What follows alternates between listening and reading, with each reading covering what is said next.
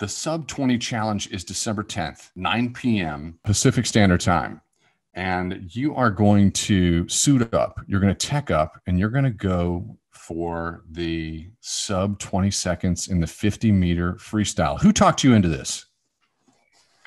Actually, Troy of all people, uh, Speedo Speedo's idea, and Troy Troy loved it. Troy was all all over it. So when Troy pitched it to me, thought it was a good idea. Thought it was gonna be fun, uh, and I agree. I mean, I, am looking forward to it.